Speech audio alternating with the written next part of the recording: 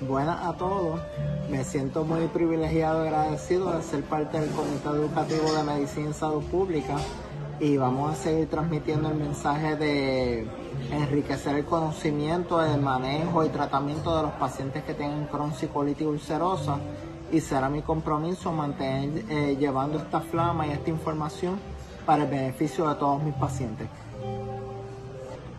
Me siento muy privilegiado también de formar parte de un grupo de grandes investigadores y grandes médicos que son también pues que comparten la visión que yo tengo y que tienen una también un compromiso con otros pues, diferentes tipos de otras condiciones que ellos también este, pues, ven y, y desarrollan